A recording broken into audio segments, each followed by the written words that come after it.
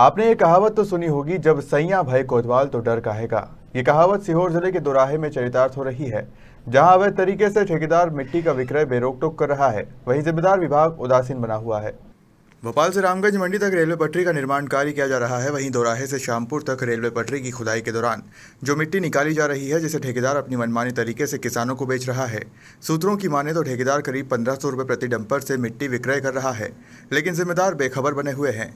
वहीं जब मामले को लेकर नायब तहसीलदार धनजी मालवीय से बात की तो उन्होंने जाँच के बाद कार्रवाई करने की बात कही। ये रेलवे लाइन से निकलने वाली जो काली मिट्टी है उसकी जानकारी बेचने के संबंध में आपके माध्यम से आज प्राप्त हुई है। उसके विरुद्ध में कार्रवाई करूँगा और यदि वो दोषी पाया जाता तो निश्चित रूप से कार्रवाई नसरुल्लागंज से वसीम खान की रिपोर्ट।